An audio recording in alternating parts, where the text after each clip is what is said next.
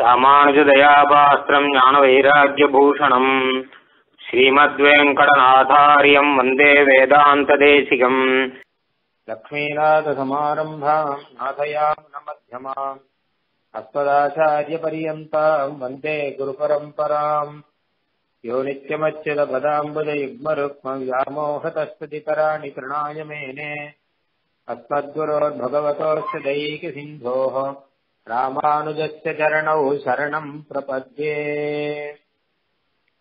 श्रीकृष्णदेशिकपदाम्बुजभृङ्गराजम् वेदान्तलक्ष्मणमुनीन्द्रकृपात्तबोधम् श्रीयन्तदेशिकयतीन्द्रसठाभिमूर्तिम् गोपालदेशिकशिखामणिमाश्रयामः अखिलभुवनरक्षा साधनायावतीर्णे कुमतिकलिविलासध्वान्ततिग्माम् सुजाले निरवधिकरुणाब्धौ वेदचूडा गुरौ मे भवतु परमभक्तिः श्रीनिधौ वेङ्कटेशे ஸ்ரீ தேசிக சகசிரநாமத்திலே ஆயிரத்தி எட்டு திருநாமங்கள் இருக்கும்போது அதில் ஆயிரத்தி ஒன்றாவது திருநாமம் பார்த்தோம் ஏழு திருநாமங்கள் மீதம் இருக்கின்றன குணாஷ்டக ஆவிர்பா குணாஷ்டகாவித் பாவோக்தி வேத்யார்த்த பரிசோதகா என்பதாக ஆயிரத்தி ஒன்றாவது திருநாமம். எட்டு குணங்கள் ஆவிர்பவிக்கின்றன என்று சொல்வதால் அறிய வேண்டிய விஷயத்தை ஆராய்ந்தவர் என்பதாக அர்த்தம். மோட்சம் பெறும்பொழுது ஜீவாத்மாவுக்கு ஸ்வஸ்வரூப ஆவிர்வாவம் அப்படின்னு ஒண்ணு வருவதாக சாஸ்திரத்துல சொல்லியிருக்கான் இங்கேருந்து மோட்சத்துக்கு போனான்னா அவன் இந்த சம்சாரியா இருந்த ரூபத்தை விட்டுறான் அங்கே ஆத்மஸ்வரூபம் அவனுக்கு நன்னாக தெரிய வருது. அப்போ மோட்சத்துல இந்த ஆத்மாவுக்கு என்ன சொரூபமானது தெரிய வருதோ அந்த சொரூபமானது புதுசா வரக்கூடியதா இல்ல ஏற்கனவே இருந்ததா அப்படின்னு ஒரு கேள்வி வருது. இங்கிருந்து சொர்க்கலோகம் போனோம்னு வச்சுப்போம். சொர்க்கலோகத்தில் இருக்கக்கூடிய சில போகங்கள்லாம் நாம் அனுபவிக்கிறோம்னு வச்சுப்போம். அதெல்லாம் நமக்கு புதுசா வருது. சாத்தியன ரூபேன சம்பந்தாங்கிறார். சொர்க்கத்தில் இருக்க போகம் முன்னாடி நம்ம அனுபவிச்சது இல்லை நமக்கு கிடையாது அதெல்லாம். புதுசாக ஒரு போகம் ஒன்று அனுபவிக்கிறான். நரகத்துக்கு போனாலும் அது மாதிரி புதுசாக போகம் அனுபவிக்கிறான். இந்த மாதிரி சீமை குண்டத்துக்கு போனாலும் புதுசாக போகத்தை அனுபவிக்கிறான் இருக்கட்டும். ஆனால் அது சொஸ்வரூபம் அது. அப்படின்னா என்ன அர்த்தம் கேட்டா இந்த ஆத்மஸ்வரூபம் ஏற்கனவே என்ன இருக்கோ அதை தான் இப்ப அனுபவிக்கிறான். சம்சார நிலையில அதை அனுபவிக்க முடியாம இருந்துச்சு. ஜீவாத்மஸ்வரூபம் அப்படிங்கிறது ஆனந்த ஸ்வரூபம். பரமாத்ம ஸ்வரூபம் அப்படிங்கிறது அனவசிகாசிய ஆனந்த ஸ்வரூபம் இதையெல்லாம் ஜீவாத்மா அனுபவிச்சுட்டு இருக்கணும் அப்படிங்கிறது அவனுக்கு சொத பிராப்தம் இது ஒரு உபாயம் பண்ணி அனுபவிக்க வேண்டியது இல்லை அதான் அதான் இங்க விஷயம். சொர்க்கம் மாதிரி ஒரு உபாயம் பண்ணி கஷ்டப்பட்டு வர வேண்டியது இல்லை ஆனால் இவன் அதை தடை பண்ணி வச்சிருக்கான். அந்த சொஸ்வரூபத்தை அனுபவிக்க முடியாம இருக்கு. சம்சாரம் இவனை மூடி இருக்கு. யதா அப்படின்னு ஒரு உதாரணம் அழகா சொல்ற. சௌனக பகவான் ஸ்ரீ விஷ்ணு தர்மங்கிற கிரந்தத்துல ரத்தனம் இருக்கே ரத்தனத்து மேல அழுக்கால மூடி இருக்குன்னு வச்சுக்கோம் ரத்தனத்தை யாரும் எடுக்கலன்னா அழுக்கு மூடிடும். அந்த அழுக்கை எடுத்துட்டோம்னா அந்த ரத்தம் தானே பிரகாசிக்கும். அதுல பிரகாசத்தை உண்டாக்க வேண்டாம். அதே போல இந்த ஜீவாத்மாங்கிறது ரத்தனம் மாதிரியா.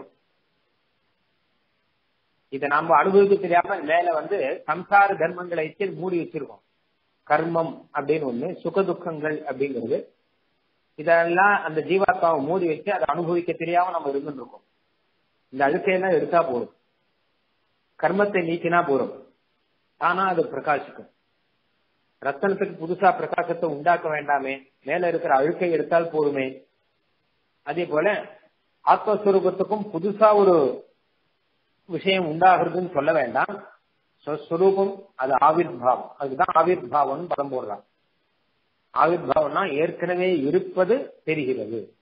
அப்படிங்கறதானே தவிர புதுசா உண்டாகிறது இல்லை. புதுசா உண்டான உற்பத்தியின் பெயர். பகவானுடைய அவதாரங்களை பற்றி சொல்ல ஆவிர்வாவம் அப்படிங்கிறார். நிசிம்ம பெருமான் ஸ்தம்பத்திலே ஆவிர்வவித்தார் அப்படிங்கிறார். தாசாம் ஆவிரபூத் சௌரிகி ஸ்மயமான முகாம்புதா. பகவான் வந்து தேவகி பூர்வ சந்தியாயாம் ஆவிர்பூதம் மகாத்மனா. தேவகி கிட்ட கிருஷ்ணன் ஆவிர்பவித்தான் அப்படிங்கிறார் கம்பத்தில் இந்த சிம்மன் அப்படின்னு சொல்றான் உண்டானான்னு இருக்கிறேன் மனுஷனுடைய பிறப்பு மாதிரி கிடையாது. ஏற்கனவே இருக்கான் பகவான். இந்த இடத்துல தெரியாம இருக்கான் இப்ப தெரியறான். கம்பத்துல பகவான் இருக்கான் ஏற்கனவே. எல்லா கம்பத்திலுமே இருக்கான். ஆனா தெரியல. கிரண்யகசிபு வீட்டு கம்பத்துல மாத்திரம் பகவான் வந்து தெரிஞ்சான். அதனால ஆவிர்வவித்தான்னு சொல்றேன் இருக்கிற வஸ்துவே தெரியாம இருக்கிற வஸ்து தெரிஞ்சா அதுக்கு ஆவிர்வாவம் அப்படின்னு பெயர். அப்போ ஆத்மாவுக்கு சொஸ்வரூபம் அப்படிங்கிறது ஆவிர்வாவம். அதே மாதிரிதான் குணாஷ்டகமும். ஜீவாத்மாவுக்கு எட்டு குணங்கள் சொல்லியிருக்கா. அபகத பாப்மா விஜரோ விமிருத்யு விசோகா விஜிகத்தா அபிபாசா சத்தியகாமஹா சத்திய சங்கல்பா அப்படின்னு. எட்டு குணங்கள் என்ன கேட்டா அபகத பாப்மா கர்மம் இல்லாதவன் விஜரஹா மூக்கு இல்லாதவன் விமிருத்யு மரணம் இல்லாதவன் விசோகா சோகம் இல்லாதவன் பசி இல்லாதவன் தாகம் இல்லாதவன். இப்படி சொல்லி சத்தியகாமஹா சத்திய சங்கல்பா அப்படின்னு எட்டு குணங்கள் ஜீவாத்மாவுக்கு ஆவிர்பவிக்கின்றன அதான் விஷயம். இந்த எட்டு குணங்கள் முன்னாடியே ஜீவாத்மாவுக்கு இருக்கு. ஆனா மறைஞ்சிருக்கு. தெரியாம இருக்கு. ஆத்மாவுக்கு ஒன்றும் பசி கிடையாது.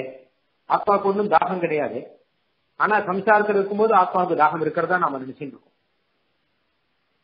பசி இல்லாதது தாகம் இல்லாதது ஆத்மா நல்லா கவனிக்கணும். பசியோ தாகமோ சரீரத்துக்கு தான் இருக்க முடியும். ஆத்மாவுக்கு எப்படி இருக்க முடியும்? ஒரு ஆகாரம் தேவை அப்படிங்கிறது சரீரம் வளர்றதுக்கு தான் ஆகாரம் தேவை. ஆத்மா வளர்றதுக்கு ஆகாரம் தேவை இல்லையே தீர்த்தம் தேவைங்கிறது சரீரத்துக்கு தானே. ஆத்மாவுக்கு தீர்த்தம் தேவையில்லையே. அப்ப தாகம் போக தீர்த்தம் தேவைங்கிறதோ பசி போக ஆகாரம் தேவை அப்படிங்கிறதோ இதெல்லாம் சரீரத்துக்கு தான். ஆனா நாம என்ன பண்றோம் இது ஆத்மாவுக்கு அப்படின்னு நினைச்சுட்டு இருக்கோம். அதனால ஆத்மாவுக்கு இயல்பான தர்மம் என்ன அப்படின்னு கேட்டானா பசியின்மை தாகமின்மை இதெல்லாம் ஆத்மாவுக்கு இயல்பான தர்மம். அந்த தர்மங்கள்லாம் தெரியாம இருக்கு நமக்கு. அது மோட்சத்துல ஆவிர்வாவம் மாறுதான். மோட்சத்துக்கு போயிட்டோம் வச்சுக்கோங்க. அப்ப நாம அந்த சரீரத்தையே எடுத்திருந்தாலுமே பசி இருக்காது தாகம் இருக்காது தூக்கம் இருக்காது ஒண்ணும் இருக்காது. ஏன்னா ஆத்மாவுடைய சுரூபம் அங்க நன்னா வந்துடும் அதனால ஆத்மஸ்வரூபம் மங்கி இருக்கக்கூடிய ஆத்மஸ்வரூபம் மறைந்து இருக்கக்கூடிய ஆத்மஸ்வரூபம் அது அந்த இடத்துல வெளிப்படும். நமக்கே தெரிய ஆரம்பிக்கும். அதைத்தான் குணாஷ்டக ஆவிர்வாவோக்தி எட்டு குணங்கள் ஆவிர்வாவம் அடைகின்றன அப்படின்னு சொன்னது. அதனுடைய தாற்பயத்தை சுவாமி தேசியன் அழகா சாதிக்கிறார் அப்படிங்கறத வச்சுட்டு இங்க இங்க இது இந்த திருநாமம். வேதத்துல சேன ரூபேன அபினிஷ்பத்யதே அப்படின்னு அது சொல்லிருக்கு. தன் ரூபத்தினாலே ஆவிர்வவிக்கிறான் இப்ப இந்த இடத்துல இது சொல்லுவானே அப்படின்னு கேட்டா சர்வதன்மான் பரித்தியஜ மாமேகம் சரணம் விரஜ அகந்தா சர்வ பாப்பேபியோ மோக்ஷயிஷ்யாமி அப்படின்னு பகவான் சொல்றான். என்ன சரணாகிதி பண்ணால் நான் பாப்பத்திலிருந்து மோட்சம் கொடுக்கிறேன் அப்படின்னு சொன்னான். ஆனால் சீதை கொண்டு லோகத்தை கொடுக்கிறேன்னு சொல்லலையே. உன்னை பாப்பத்திலிருந்து விடுவிக்கிறேன் அப்படின்னு தானே சொல்றான் உனக்கு சீதை கொண்டு லோகத்தை கொடுத்து பரிபூர்ண பிரம்மானுபவத்தை கொடுக்கிறேன் உனக்கு அப்படின்னு பகவான் சொல்லலை இங்க. அப்ப அதை கொடுப்பானா அப்படின்னு கேள்வி வரும். அதுக்கு பதில் இதுதான். பரிபூர்ண பிரம்மா அனுபவமோ இல்ல ஆத்மஸ்வரூப ஆவிர்வாவமோ இல்ல எட்டு குணங்கள் ஆவிர்வாவமோ இதெல்லாம் மோட்சத்துல இருக்க அந்த உண்டு லோகத்துல. இதெல்லாம் வேதம் சொல்லி இருக்கு இத பகவான் சொல்லலையே நினைக்க வேண்டாம். ஏன்னா இது தானா வரக்கூடியது இதெல்லாம். தானா வந்துடும் பின்ன இப்பயே வரல கேட்டா இப்ப மறைஞ்சிருக்கு. பாபத்தினாலே மறைஞ்சிருக்கு. அந்த பாபத்தை நான் எடுத்துடுறேன்னு சொல்லிட்டாங்க எடுத்துட்டா தானா வந்துடும் அர்த்தம். அது தனியா சொல்ல வேண்டிய அவசியம் கிடையாது. சர்வ பாபேபியோ மோக்ஷயிஷ்யாமி அப்படின்னு பரிபூர்ண பிரம்மானுபவத்துக்கு தடையா இருக்கக்கூடிய பாபங்களை எல்லாம் விடுவிக்கிறேன் அப்படின்ட்டான் அப்போ பரிபூர்ணானுபவம் தானா வந்துடும் அதை உண்டாக்குறேன் அப்படின்னு சொல்ல வேண்டாம். இந்த ஜலத்தை தடுத்து வச்சிருக்கிறவன் அந்த தடையை எடுத்துடுறேன் நான் அப்படின்னு சொன்னா போதும். ஜலம் தானா வரும். ஜலத்துக்கு பிரவகிக்கிறது சுவாவம். அது பிரவகிச்சு வரும். மேட்டூர் அணையில தண்ணியை திறந்து விட்டார் அப்படின்னா காவேரி ஜலம் தானா வந்துடும் தண்ணியை திறந்து விட்டு காவேரி ஜலத்தை அனுப்பினார்னு சொல்ல வேண்டாம். அதே போல எப்பவுமே தடையை நீக்கினால் போதும் இந்த இடத்துலயும் தடையா இருக்கக்கூடிய பாப்பங்களை நான் விளக்கிடுகிறேன் அப்படின்னு பகவான் சொல்லிட்டு படிக்கிறாங்க சர்வபாபேபியோ மோக்ஷிஷாமின்னு சொல்லிட்டு படிக்கிறனால பரிபூர்ண பிரம்மானுபவம் தானா வந்துடும் அப்படின்னு அர்த்தமா இருக்கு. அதனால மோட்சத்துல செய்தி உலகத்துக்கு ஐஸ்வர்யம் மோட்சம் கொடுக்கிறேன்னு சொல்லலையே கேட்க வேண்டாம். இதை சொன்னதாலேயே அதுவும் சொன்னதாக ஆயிருக்கு ஏன்னா அதை பகவான் உண்டாக்கி நமக்கு தர வேண்டிய அவசியம் இல்லை. சொர்க்கலோகம்னா சொர்க்கத்துல அனுபவிக்கிறதுக்குன்னு ஒரு சரீரத்தை கொடுத்து அந்த சொர்க்க சுகத்தை இவனுக்கு உண்டாக்கி கொடுக்கணும். ஆனால் சீவியுள்ள லோகத்துல அப்படி கிடையாது. அது தானாக வந்துடும் அப்படிங்கறதுனாலதான் அதை சொல்லலை. அப்படின்னு தாற்பயம் அப்ப அது உண்டுன்னு அர்த்தம். இந்த ஆவிர் பாவத்தை பத்தி நிறைய விஷயம் சுவாமி சாதிக்கிறார். அதனாலதான் இந்த திருநாமம் தனியா இருக்கு. இங்க ரகசிய திரைசாரத்துல பார்த்தோம்னா ஆவிர்பாவ சப்தம் ஞான திரவியமும் இதனுடைய சர்வ விஷய விகாசத்துக்கு சுரூப யோக்கியதா ரூபமான சக்தியும் நித்தியங்களாகையாலே அவற்றில் ஆவிர்பாவ சப்தம் முக்கியம். சர்வ விஷய விகாசமும் துக்க நிவர்த்தியாதிகளும் சங்கல்பாதிகளும் கைங்கரியங்களும் ஆதந்துவங்களாயிருக்க இதை நிவர்த்த பிரதிபந்த சுரூப உபாதிகங்களாகையாலே மேல் முழுக்க நடக்கும்படி தோற்றுகைக்காக இவற்றில் ஆவிஷ்யு அமத சகஜ கைங்கரிய விதயா இத்தியாதிகளாலே ஆவிர்பாவ சப்தம் பிரயுக்தமாகிறது. இன்னும் நிறைய விஷயம் சொல்றேன். உதாரணத்துக்கு ஒண்ணு சொல்லணும்னா சிவிங்கின்ற லோகத்துல பகவத் அனுபவம் அப்படிங்கிறது தானா வந்துடும் அது ஒன்றும் சந்தேகம் இல்லை ஆனால் இவன் கைங்கரியம் பண்றானோ இல்லையோ? பகவான் கிட்ட அது இவனே அபேட்சிச்சு பண்றான். நான் இந்த கைங்கரியம் பண்ணணும்னு ஆசைப்பட்டு பண்றான்.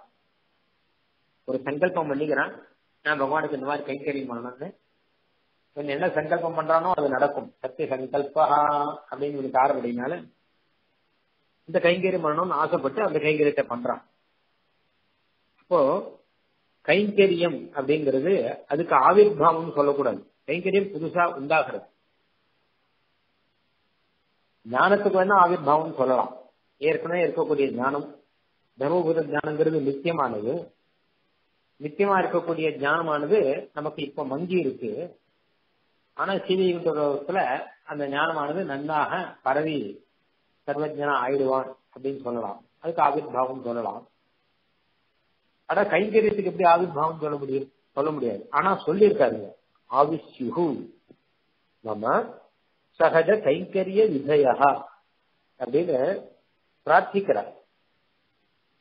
ஸ்ரீகண்டோகத்துல எல்லா கைங்கரியங்கள்லாம் எனக்கு பிராப்தமாகட்டும். மமாவே பூயாசுகு அப்படின்னு பிரார்த்திக்கிறார். அது எப்படி வரும்? ஆவிர்வாவம் ஆகட்டும் எப்படி சொன்னார். அப்படின்னா அப்படி இல்ல. இந்த கைங்கரியங்கள்லாம் புதுசா வர வேண்டியதுதான் அதுக்கு ஆவிர்வாவம் கிடையாது. ஆனா கூட அது அப்படி சொன்னதுக்கு ஒரு தாற்பயம் இந்த கைங்கரியம் இத்தனை நாளா வராததுக்கு காரணம் என்ன? அப்படின்னா பாப்பம் பண்ணிருந்தபடினால கர்மாதீனமா இருந்தபடினால தான் இந்த மாதிரி கைங்கரியம் பண்ண முடியாம இருந்தது. நம்ம இந்த கர்மம் போயிடுச்சு. சொல்லு. அப்ப இதுவே இந்த கைங்கரியம் எனக்கு நன்னா நடக்கலாமே அப்படின்னு மேல் முழுக்க நடக்கும்படி தோற்றுகைக்காக. இத்தனை நாளா இல்லைங்கிறது வாஸ்தவம். இப்ப உண்டாகிறதுங்கிறது வாஸ்தவம். ஆனா இனிமே அப்படி கிடையாது. இனிமே வந்து இதுக்கு நாசங்கிறது கிடையாது. இந்த கைங்கரியமானது உண்டாம நடந்துட்டு இருக்கணும் எனக்கு. அதனால அந்த விஷயம் தெரியணுங்கிறதுக்காக அவர் பூயாது அப்படின்னு இப்போ வந்துட்டு உடனே போயிடக்கூடாது அது. ஏதோ உட்பண்ணமாச்சுன்னா வந்து உடனே போயிடும். அந்த மாதிரி போயிடக்கூடாது. எனக்கு நிச்சயம் தொடர்ந்து இருக்கணும் இது அப்படிங்கறத காமிக்கிறதுக்காக. அதுக்கு தடை போயிடுச்சு. அதனால தொடர்ந்து இருக்கணுங்கிறத காமிக்கிறதுக்காக அப்படி போட்டிருக்கேன். இந்த பதத்தை போட்டிருக்கேன். அதே மாதிரி இன்னும் பல விஷயங்கள்லாம் சுவாமி சொல்றார். சர்வபாபேபியோ மோக்ஷயிஷ்யாமி என்ன? இவ அனுகூல அவஸ்தாந்தரம் சித்தமாயிற்று அப்படின்னு முடிக்கிறார். எல்லா பாவத்திலிருந்து விடுவிக்கிறேன்னு சொன்னபடினாலேயே மோட்சத்தை கொடுத்து உனக்கு பகவத் கைங்கரியத்தை கொடுக்கிறேன் பரிபூர்ண பிரம்மானுபவத்தை கொடுக்கிறேன் அப்படிங்கிறது வரைக்கும் அர்த்தமாக ஆயிடுச்சு அப்படின்னு இந்த திருநாமத்துக்கு அர்த்தம். அடுத்த திருநாமம் ஆயிரத்தி ரெண்டாவது கைவல்யாக்கியபுமர்க்கஸ்வரூப நித்தியத்துவ பாதக அடுத்தது இது அடுத்த திருநாமம். கைவல்யம் எனும் புருகார்த்தத்தின் சொரூபம் நித்தியம் என்பதை மறுத்தவர் அப்படின்னு அர்த்தம். கைவல்யம் அப்படிங்கிற ஒரு புருஷார்த்தத்தை பற்றி கொஞ்சம் விஸ்தாரமாக சுவாமி தேசிகன் இங்கே நிரூபணம் பண்றார். அதை வச்சு இந்த திருநாமம் வந்திருக்கு. இப்போ சர்வபாபேபியோ மோக்ஷயிஷ்யாமி அப்படின்னு தானே சொன்னான் பகவான். பாப்பங்களிலிருந்து விடுவிக்கிறேன் அப்படின்னு தானே அர்த்தம். உனக்கு சீதிகண்ட லோகத்திலே சொஸ்வரூபத்தை கொடுக்கிறேன்னு சொல்லலையே அப்படின்னு கேள்வி வரைச்சேன் அதுக்கு பதில் சொன்ன போன வரும் அப்படி கிடையாது. பாப்பங்கள்ல விடுவிக்கிறேன்னாலே பாப்பம் போயிடுத்துனாலே சீதை கொண்ட லோகம்தான் அப்படின்னு சொன்னார். ஆனா இதுல ஒரு கேள்வி ஒண்ணு வரும். இந்த பாப்பத்தோடு இருக்கிறதுங்கிறது சம்சாரம்.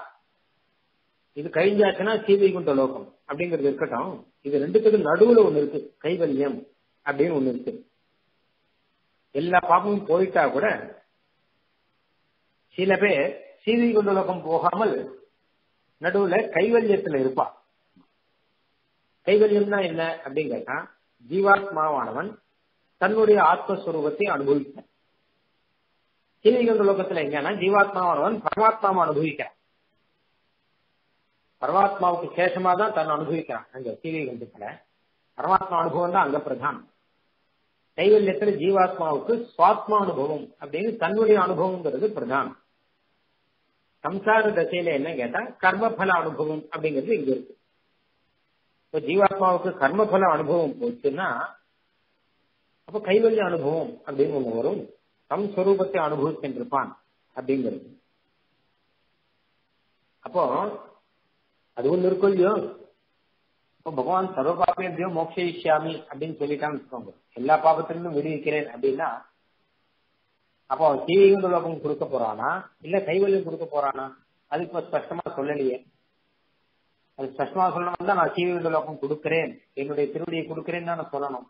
அது சொல்லலையே. வெறும் சொரபாபேபியோ மோக்ஷயிஷ்யாமி அப்படின்னு மாத்திரம் சொல்லிட்டா. எல்லா பாவத்தையும் விடுவிக்கிறேன் மாத்திரம் சொல்லிட்டா. அப்ப சீவைகுண்ட லோகம் தான் அர்த்தம் எப்படி கிடைக்கும். பாப்பம் போச்சுன்னா தானா சீவி உலகம் தான் வருங்கிறது பாப்பம் போனா கைவல்யம் கூட தான் வரலாம். கைவல்யத்துல ஜீவாத்மா அனுபவ ஜீவாத்மா அனுபவத்தை கிடைக்கலாம். பரமாத்மா அனுபவமே இல்லாமல் வெறும் ஜீவாத்மாவை அனுபவிச்சுட்டு முதலே சொன்னேன் இல்லையா ஜீவாத்மா அனுபவங்கிறது ஆனந்த ஸ்வரூப அனுபவம் பரமாத்மா அனுபவங்கிறது அனவதிகாதிசய ஆனந்த ஸ்வரூப அனுபவம் ஜீவாத்மா அனுபவத்திலே ஆனந்தம் உண்டு. ஆனா பரமாத்மாவுடைய ஆனந்தங்கிறது ரொம்ப எல்லை இல்லாதது அதுக்கு சமமாக இது ஆகாது. அதனால அந்த திரிகண்ட லோகம்தான் கேட்கணும். ஆனா சில பேர் வந்து கைவல்யம் கேட்டா அவளுக்கு அது கிடைக்கும் அந்த விஷயம் வேற. நம்ம ஆச்சாரியர்கள்லாம் கைவல்யம் கேட்காதுங்கன்னு சொல்லிருக்காங்க நம்ம கிட்ட அப்படி இருக்கச்ச சர்வ பாபத்திலிருந்து மோட்சம் வந்தா கூட கைவல்யத்துக்கு போறாமே தேவி குணம் தான் போறாங்கிறது என்ன? நியத்தி சொல்ல வேண்டாமா? அப்படின்னு ஒரு கேள்வி வரும். அதுக்கு பதில் தான் சுவாமி சொல்றார். அப்படி கிடையாது. கைவல்யத்துல சர்வபாவங்களும் போயிடுறதுங்கிறது கிடையாது. கைவல்யமும் இந்த சம்சாரத்துக்குள்ள ஒரு சேர்ந்ததுதான் அது. எல்லா பாவமும் போயிட்டா மோட்சம் தான் வரும். கைவல்யத்துல என்னன்னா கர்மங்கள்லாம் போயிடுறது சுகதுக்கங்கள்லாம் கிடையாது. இந்த சரீரத்திலிருந்து வரக்கூடிய சுகதுக்கம் கிடையாது கைவல்யத்தில். அதாவது கைவல்யம்னே பெயர். கைவல்யம்னா கேவலத்த பாவா கேவலம் ஆத்மா மாத்திரம் இருக்கு சரீரம் இல்லைன்னு அர்த்தம். இப்போ நமக்கு வர சுக துக்கங்கள்லாம் சரீரம் மூலமா தானே வந்துட்டு இருக்கு சரீரம் மூலமா வரக்கூடிய சுக துக்கங்கள் எதுவும் வராது. விஷய சுகங்கிறது கிடையாது. விஷய துக்கம் விஷயத்தை அனுபவித்து அதனால வரக்கூடிய துக்கங்கிறது கிடையாது. ஏன்னா ஆத்மா தன்னைத்தானே அனுபவிக்கிறது மாத்திரம். அது மாத்திரம் தான் உண்டு. அப்போ இந்த விஷய துக்கத்துக்கு காரணமான பாபங்களை எல்லாம் பகவான் போக்கடிச்சு காமிச்சோம் இப்போ கைவில் வருமானு கேள்வி வந்ததோ இல்லையோ? அது சொன்னா அப்படி கிடையாது. எல்லா பாப்பமும் போனா கூட எல்லா பாப்பமும் போனா மோட்சம் தான் வரணும். இவை கொண்டு தான் வரணும். அது வரல ஒருத்தருக்குன்னு வச்சுக்கோங்க. சீதை குண்டம் கிடைக்கல கைவலி தான் கிடைச்சிருக்குன்னு வச்சுக்கோங்க. அப்போ சீதை குண்டத்தை தடுக்கிறதுக்கான பாடம் இருக்குன்னு அர்த்தம். அந்த பலன் வரணும் இல்லையோ சொரூப பிராப்தமான அந்த பலன் வரணும் இல்லையோ அது வரல அப்படின்னா பாப்பம் இருக்குன்னு தான் அர்த்தம். தடை இருக்கவே தானே அது வரல. ஏன் வரல அவனுக்கு தடை இருக்கவே தானே வரல. அப்போ அந்த பாபம் இருக்குன்னும் போது சர்வ நிவிருத்தி அப்படிங்கிறது அவனுக்கு வரல.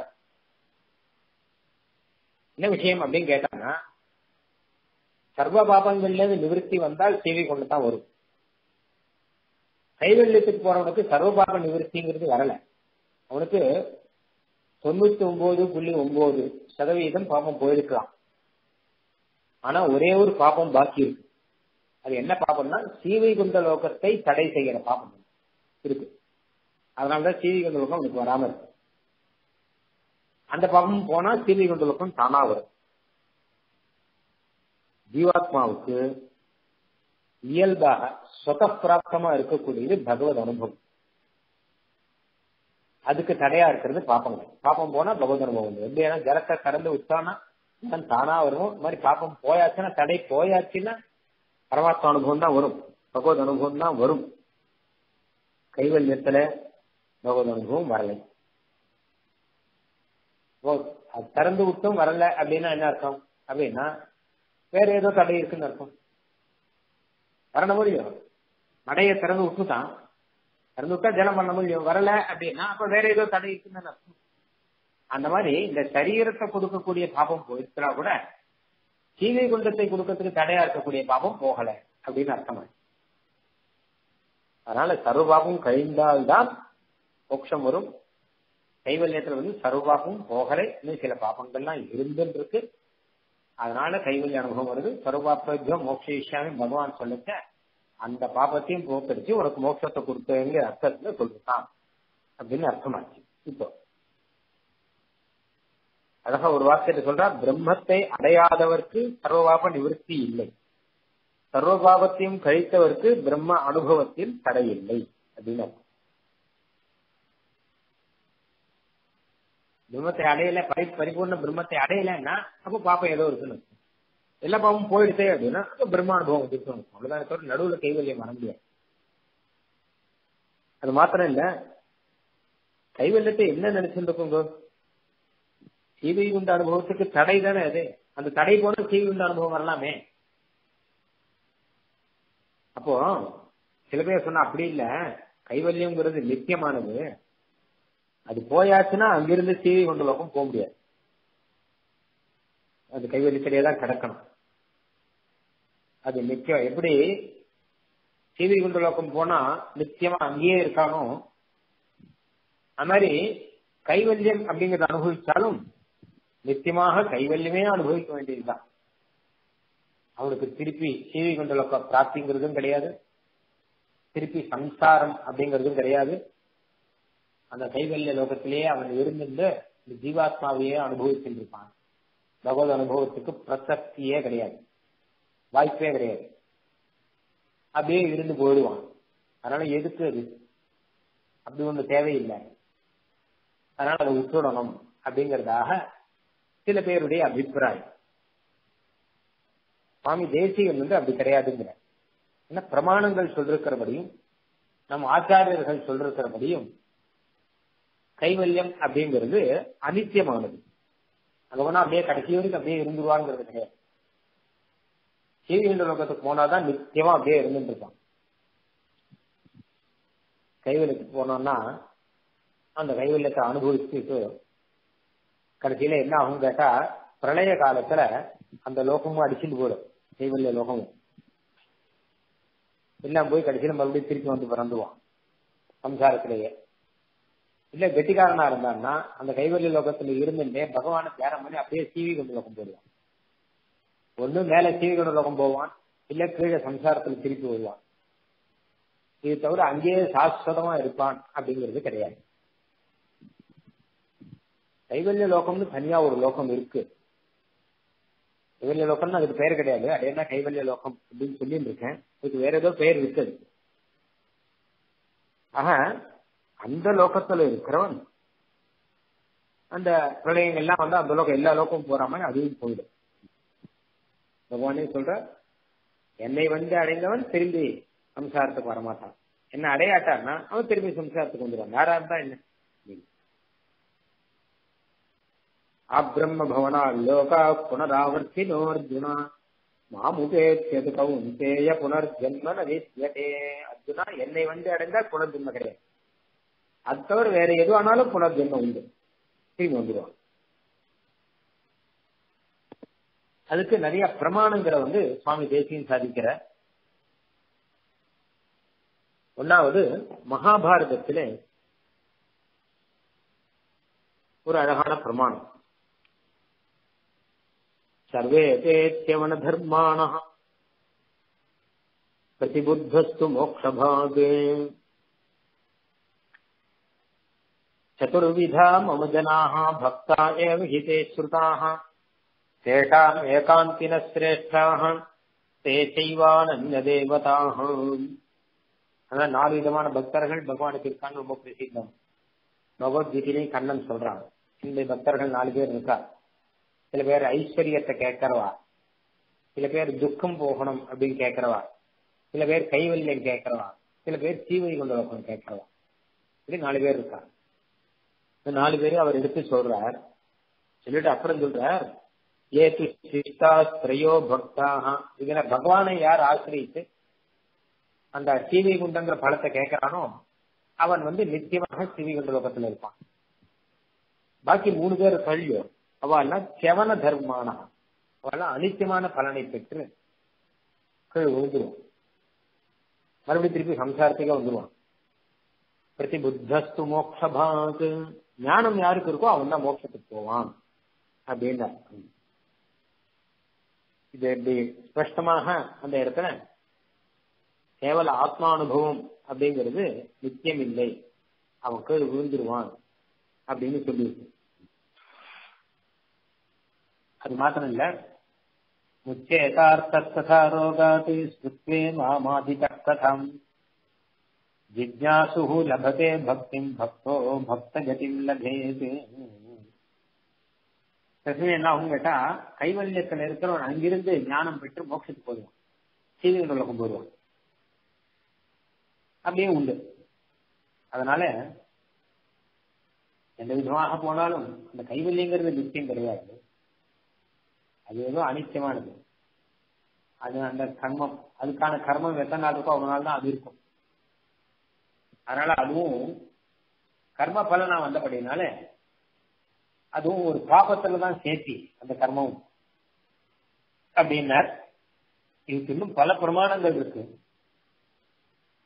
அடுத்து ரெண்டாவது ஒரு பிரமாணம் சொல்ற ஆழ்வார் நம்மாழ்வார் பாடும்போது மண்ணுரில் என்று பகவத் அனுபவத்தை நித்தியம் என்கையாலும் இதுக்கு விவச்சேத்தியமாக செல்லும் ஆத்ம மாத்திரானுபவம் நித்தியம் அன்று என்னுமிடம் என் அப்படின்னார் அமாழ்வார் பாசுரத்துல அற்றது பற்றனில் உற்றது வீடு உயிர் கெற்றது மண்ணூரில் அற்றிழை பற்று அப்படின்னு பாசுரம் இருக்கு.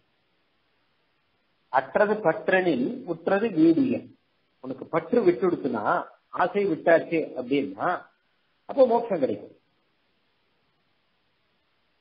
அப்போ ஆசை விட்டாச்சு அப்படின்னா சரீரத்துல இருக்கக்கூடிய ஆசை விட்டாச்சு அப்படின்னா அப்போ கைவல்யம் அப்படிங்கிறது கிடைக்கலாம். செற்றது அந்த கைவல்யத்தையும் அகப்படாமல் மண்ணூரில் திருடமான பலம் வேணும் அப்படின்னு ஆசைப்பட்டால் அத்திரை பற்றே எம்பெருமானை பற்றி கொண்டு மோட்சத்தை பெற வேண்டும் அப்படின்னு அர்த்தம். எம்பெருமானுக்கு சேகமாயிருப்பதையே ரசமாக கொண்ட உன் சொரூபத்தை அறிந்து நிலை நிற்க விரும்பினாயாக எம்பெருமானை பற்றி மற்ற விஷயங்களை விட்டுவிடு அப்படின்னு அர்த்தம். இந்த இடத்துல கைவல்யத்தை தவிர்த்து பின் நிலை நிற்க வேண்டியிருந்தால் பகவானை பற்றுங்கள் அப்படின்னு சொல்றார். கைவல்யத்தை விட்டு நிலைநிற்க வேணும்னா செற்றது மண்ணுரில் அப்படின்னு சொல்றாரு இல்லையா? அப்ப என்ன ஆச்சு கேட்டா பகவத் தர்மம் தான் நிலை நிற்பது கைவல்யங்கிறது நிலை நிற்காதது அப்படின்னு அர்த்தமாச்சு. இது கைவல்யம் அனித்தியமானது. அது சாஸ்வதம் இல்லை அப்படின்னு தெரிஞ்சுக்கலாம். பிள்ளான் சாதிக்கும் போது அந்த கைவல்யத்தில் அகப்படாது பகவத் சேஷதீக ரசமான உன்னுடைய சொரூபத்தை பெற்று நிலை நிற்க வேண்டி இருக்கின் அப்படிங்கிற.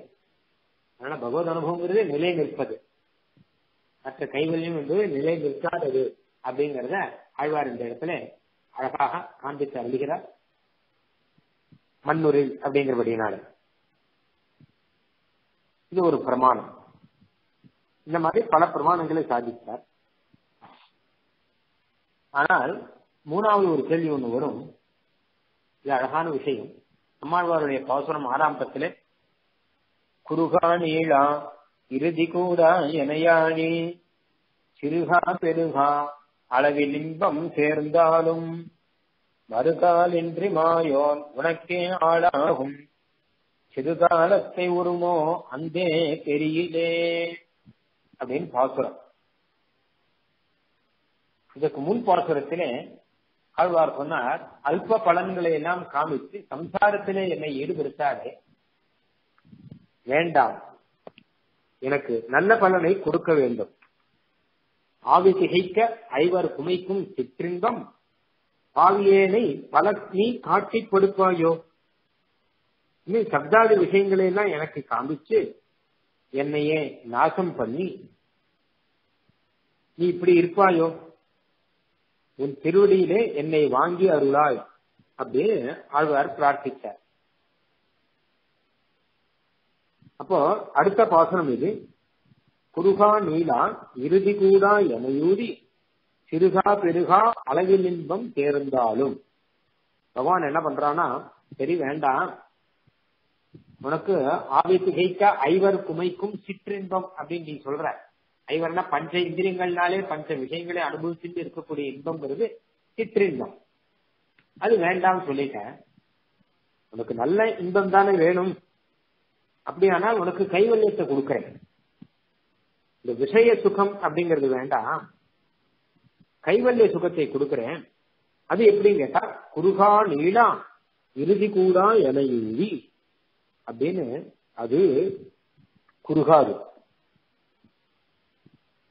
அதுக்கு விருத்தி கிராசங்கள்லாம் கிடையாது. அதுக்கு முடிவு கிடையாது. அப்படிப்பட்ட ஒரு கைவல்ய அனுபவத்தை உனக்கு கொடுக்கிறேன் அப்படின்னு பகவான் சொல்றதாக வச்சுட்டு ஆழ்வார் இந்த பாட்டு சாதிக்கிறார் அப்படி இல்லை.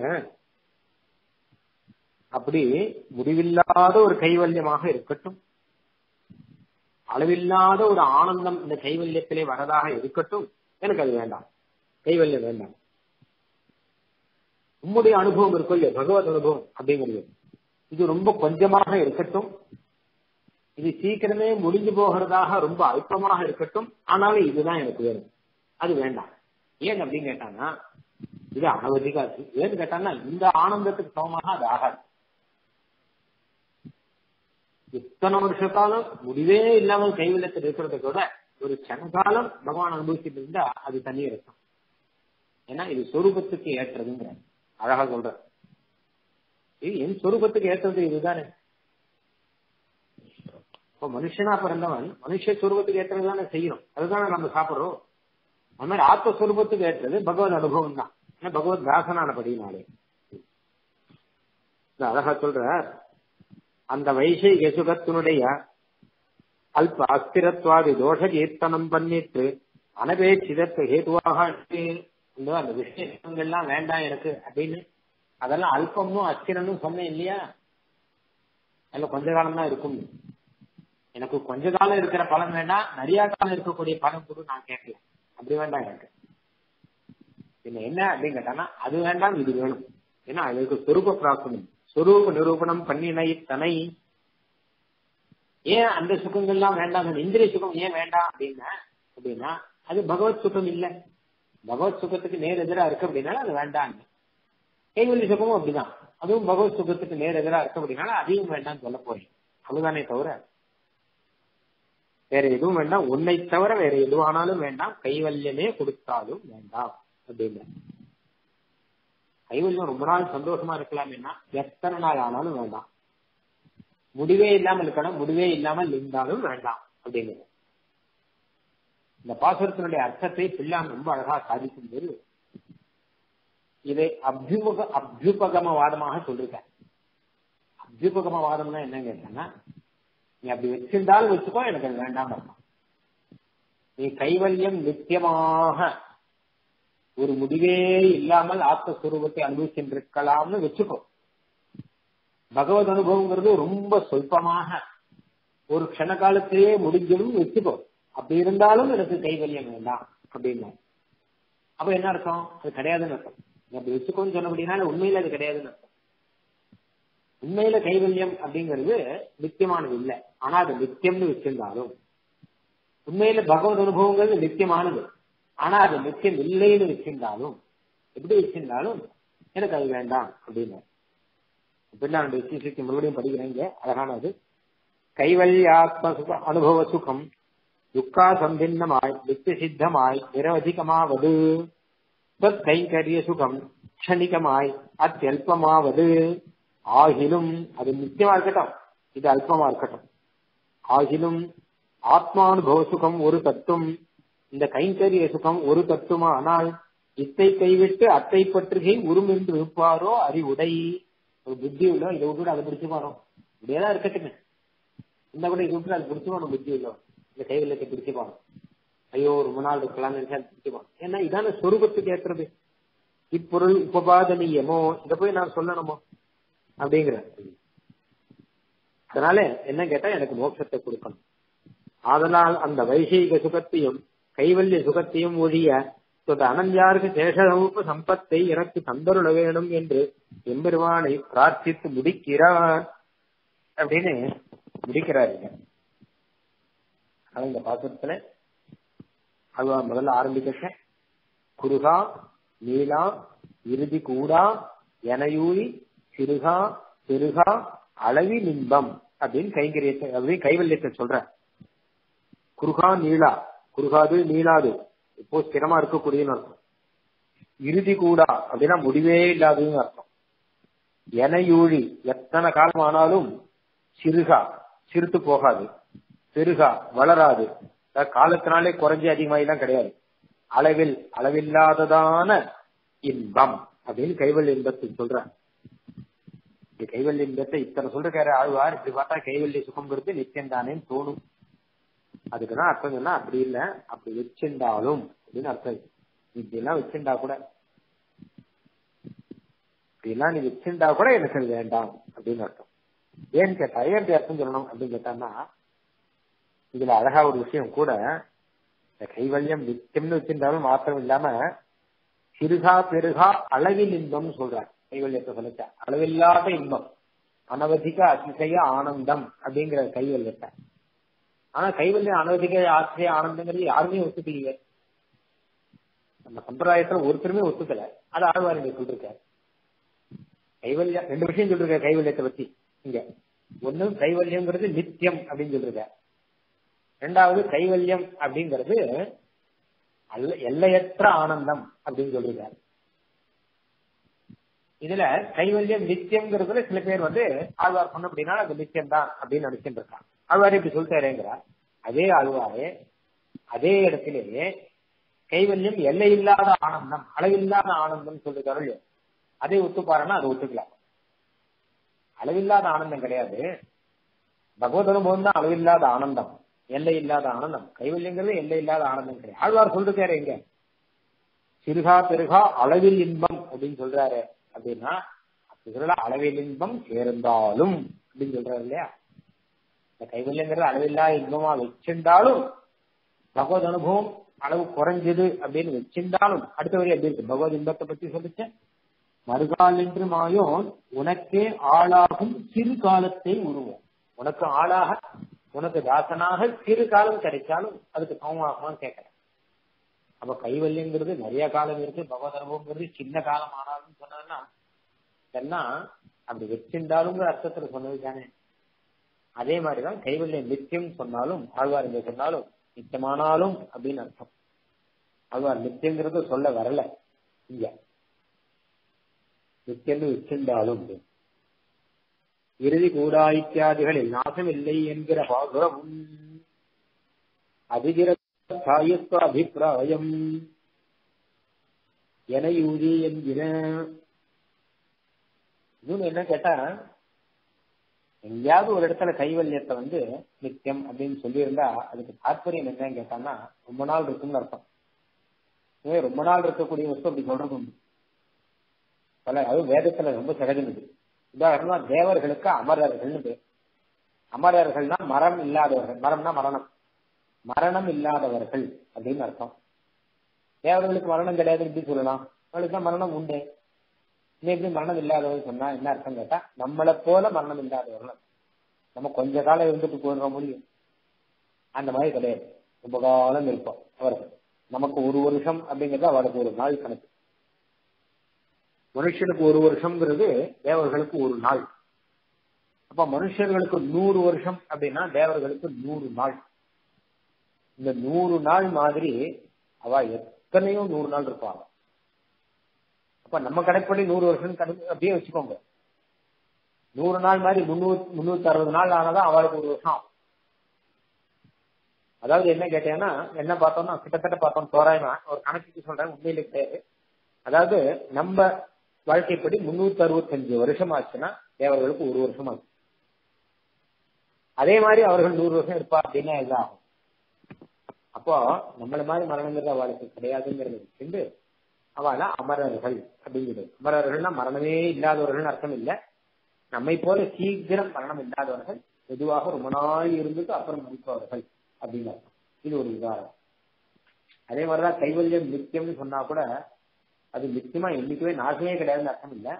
மற்ற சுகங்கள்லாம் மாதிரி கிடையாது. நம்ம விஷய சுகங்கள்லாம் இருக்கு இதெல்லாம் ரொம்பவே மோசமா இருக்கு.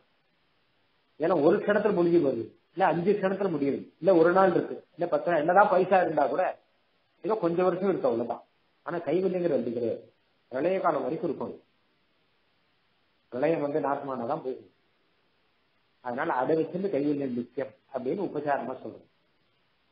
இன்னொரு உதாரணம் அக்ஷயம் கவி சாதுர்மாச யாஜனா சுக்கிருத்தம் பவதி அப்படின்னு இருக்கு. சாதுர்மாச யாகம் பண்றவனுக்கு அந்த புண்ணிய பலனாக அக்ஷயம் நாசமே இல்லாத பலன் கிடைக்கும் அப்படின்னு சொல்லிருக்கான் நல்ல சொர்க்கலோக பலன் சொல்லும் அது வந்து அழியாத சொர்க்கம் கிடைக்கும் அப்படின்னு சொல்லிருக்கான்.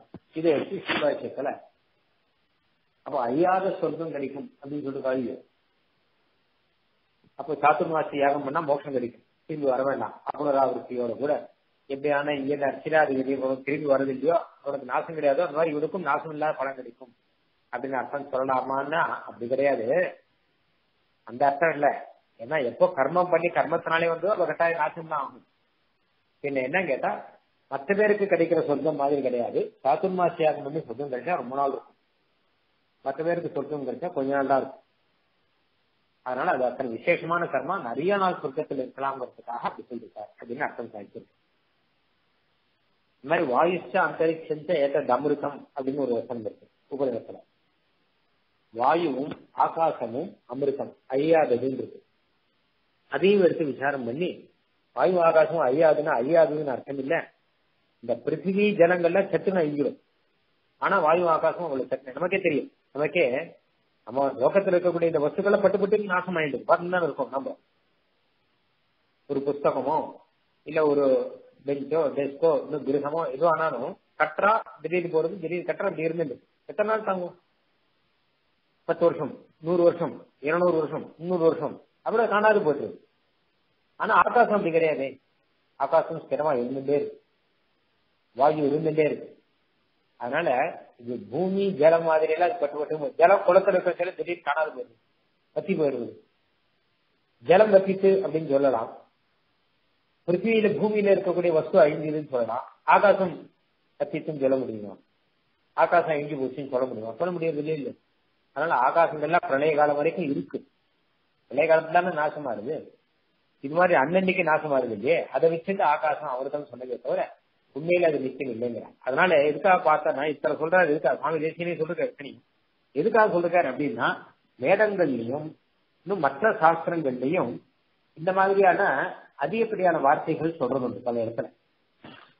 சிலதெல்லாம் நித்தியம் ஆகாசம் நித்தியம் அப்படின்னும் வாயு நித்தியம் அப்படின்னும் சாத்துர்மாசி யாகம் பண்றவருக்கு சொர்க்கம் நித்தியம் அப்படின்னும் தேவர்கள் எண்ணிக்கையே நித்தியமாக இருப்பவர்கள் மரணம் கிடையாது அப்படின்னும் இதற்கெல்லாம் சொல்லுதுக்கெல்லாம் மொத்தத்துக்கும் வியாக்கியானம். ஸ்ரீபாஷ்யத்துல எம்பெருமானாரும் மற்ற ஆச்சாரியர் தான் சாதிச்சிருக்காங்க கேட்டா இதெல்லாம் நித்தியம் எடுத்துன்றாதுங்கோ தயவு பண்ணி அந்த அர்த்தம் கிடையாது.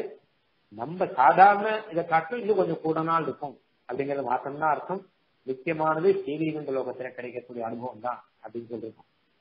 அதே விஷயம் தான் கைவல்யம் கைவல்யம் நித்தியம் சொன்னதும் அதே மாதிரிதான். இதை நித்தியம்னு எடுத்துட்டு கூடாது.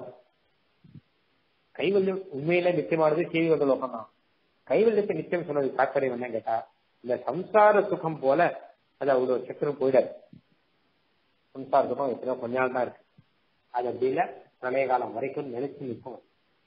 அதனால அதை வச்சு அதை நித்தியம் சொன்னதே தவிர உண்மையிலேயே அது நித்தியம் அழியவே அழியாது அப்படின்னு சொல்லக்கூடாது. அப்படி சொல்லியிருந்தா கூட அது இப்படிதான் தாற்பயம் சொல்லி ஆகும் கைவல்யம் அதுக்கு ஒரு லோகம் ஒண்ணு சொல்லியிருக்கா. ஒரு லோகத்துல அவன் உட்காந்துருக்கானா யோகினாம் அமிர்தம் ஸ்தானம் சாத்ம சந்தோஷ காலினாம் என்று கைவல்ய ஆத்மா அனுபவ ஸ்தான விசேஷம் சொல்லப்பட்டது.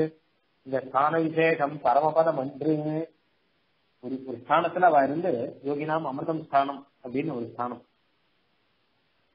கணக்கர் முதலான யோகிகளுக்கு ஆத்மானுபவத்துக்கு ஆசைப்பட்டு அவர்கள் அடையக்கூடிய ஸ்தானங்கிறது கணக்கர் முதலானவர்கள் இருக்கக்கூடிய ஸ்தானமா.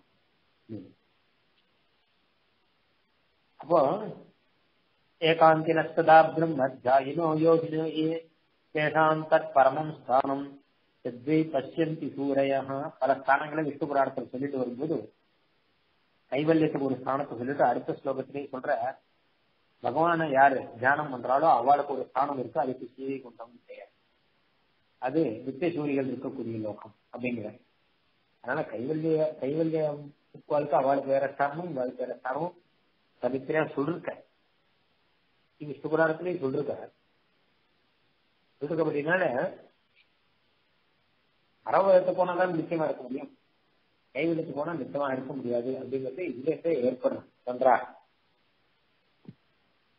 கைவல்யம் தனியா ஒண்ணு கிடையாது பரமபதம் தான் அது அப்படின்னு சில பேர் சொல்றா. ஆனா அதுவும் கிடையாது. ரெண்டு தனித்தனியாக பிரிச்சு இதனுடைய ஸ்தானம் வேற அதனுடைய ஸ்தானம் வேற அப்படின்னு பிரிச்சு சொல்றார் இந்த ஸ்தானத்துக்கு போனோம் நாசம் அடைவான் பரமபத ஸ்தானத்துக்கு போனோம் நாசம் அடைய மாட்டான் அப்படின்னும் அழகா அதையும் எடுத்து காமிக்கிறார். அதனால கைவல்யாக்கிய புமர்த்த ஸ்வரூப நித்தியத்துவ பாதகா கைவல்யம் அப்படிங்கிறது சொரூபத்துல நித்தியம் அப்படிங்கறத பாதித்தவர் அப்படின்னு அர்த்தம். இந்த விஷயத்த சுவாமி தேசியம் இங்க மாத்திரம் இல்ல பல இடத்துல சாய்ச்சிருக்க விபாஷ்ய வியாக்கியானத்திலையும் கீதா பாஷ்ய வியாக்கியானம் தாத்பரிய சந்திகையிலையும் ரகசியத்தை சாரும் முதலான இடத்துலையும் இன்னும் பல இடத்துல சாய்ச்சிருக்க என்ன அவசியம் தெரிஞ்சுக்கணும் அப்படிங்கிறதுக்காக. ஸ்ரீ தாற்பரிய சந்திரியிலையும் விஸ்தாரமா சாதிச்சிருக்க இதுல கீதா பாஷ்யத்துல வந்து அர்ச்சிராதி கதியை சொல்லும் போது ரெண்டு பேருக்கு அர்ச்சிராதி கதி உண்டு அப்படின்னா ஜீவாத்மா உபாசனம் பண்றவனுக்கும் பரமாத்மா உபாசனம் பண்றவனுக்கும் அர்ச்சிராதி கதி உண்டு அப்படின்னு சாதிச்சிருக்க இந்த அர்ச்சிராதி கதி வழியாக போகக்கூடியவன் சீவிருந்தலகம் போறான் அப்படிங்கிறதுல சந்தேகம் அப்போ ஜீவாத்மத்தை உபாசனம் பண்றவனும் அர்ச்சராதி கதினாலே போறான்னு ஸ்பஷ்டமா கீதா பாஷ்யத்துல எம்பெருவானா சாதிச்சதுனால அந்த கைவல்யங்கிறதும் அர்ச்சிராதி கதியா போய் பரவதத்துக்கு போறதுதான் கைவல்யம் அப்படின்னு சில பேருக்கு சந்தேகம். அதையும் சுவாமி மறுத்திருக்க ஏன் அப்படின்னு கேட்டா இதுக்கு சரியா புரிஞ்சுக்கணும்னா சீபாஷ்யத்தை வரணும். சீபாஷ்யத்துல யாருக்கு அர்ச்சிராதிகதி அப்படின்னு சொல்லிச்ச அங்க ரெண்டு பேர் எடுத்திருக்காரு. அதுல ஒருத்தர் பரமாத்மாவை தியானம் பண்றவன். அவருக்கு அச்சிராதிபதி. ரெண்டாவது பஞ்சாகிரி வித்யான்னு ஒரு வித்யா இருக்கு. அந்த வித்யில ஜீவாத்மாவை தான் தியானம் பண்ணணும் அதுல. ஆனால் அது கைவல்யத்துக்காக இல்ல அது. ஜீவாத்மாவை தியானம் பண்ணச்சா பரமாத்மாவுக்கு சரீரமானவன் ஜீவாத்மா பரமாத்மாவுக்கு சேஷமானவன் ஜீவாத்மா அப்படின்னு வச்சுன்னு ஜீவாத்மாவை தியானம் பண்ணலாம். இது உண்மையில பார்த்தா இது பரமாத்மா தியானம் தான் அது. பரமாத்மா தியானத்தை ரெண்டு விதமா பண்ணலாம். ஒண்ணு எப்படின்னு கேட்டாங்கன்னா நான் ஜீவாத்மா எனக்கும் ஆத்மாவாக இருக்கக்கூடியவன் பரமாத்மா அப்படின்னு தியானம் பண்ணலாம்.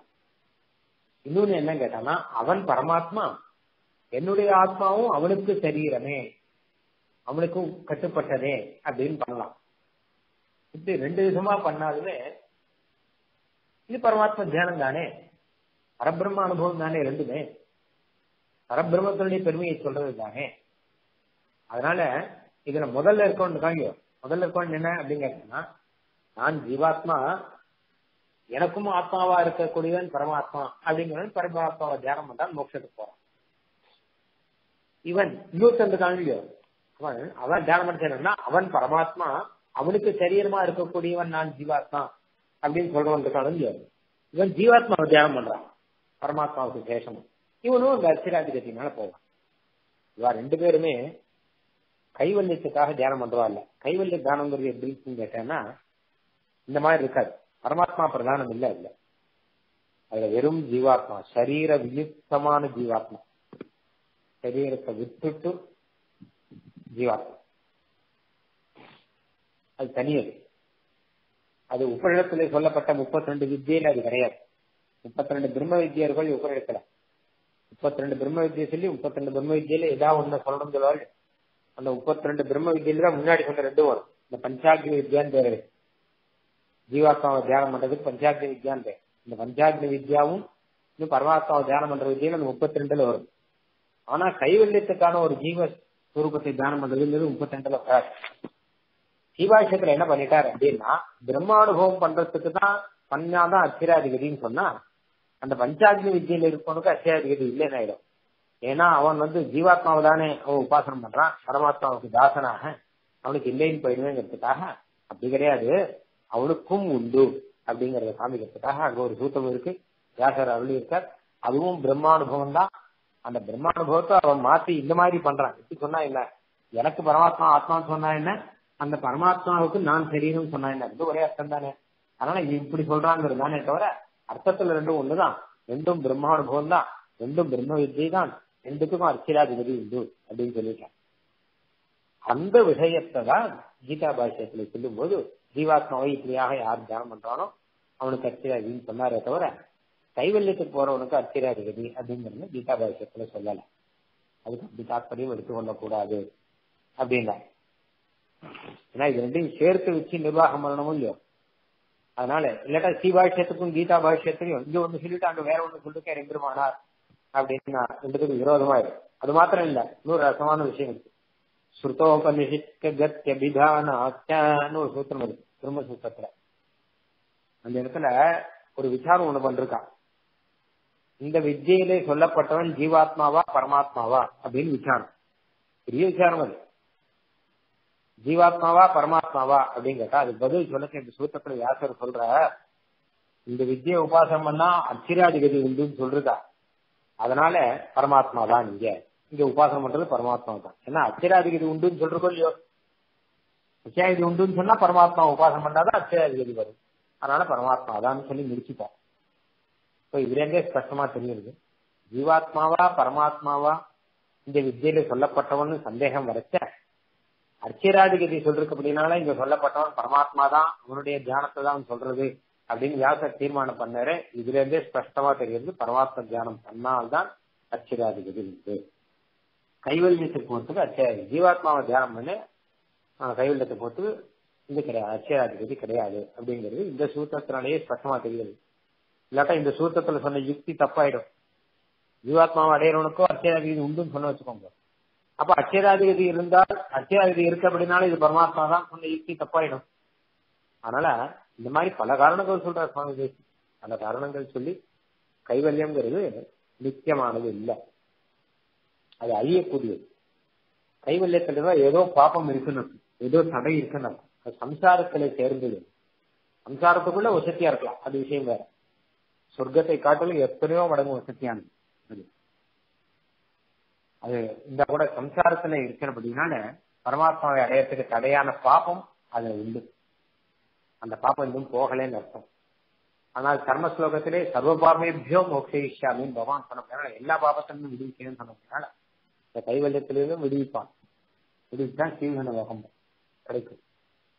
சர்வபாபேபியோ மோக்ஷயிஷ்யாமின்னு சொன்னபடினால எல்லா பாப்பமும் போனால் கிடைக்கிற இடம் இது சீவிக லோகம். அந்த லோகத்துக்கு போ ஐஸ்வன் போவேங்கிற அர்த்தம் தானா கிடைச்சிருக்கு எல்லா பாப்பத்திலிருந்து விடுபட்டா கைவல்யம் போயிடுவானோ அப்படின்னு பயம் வேண்டாம்.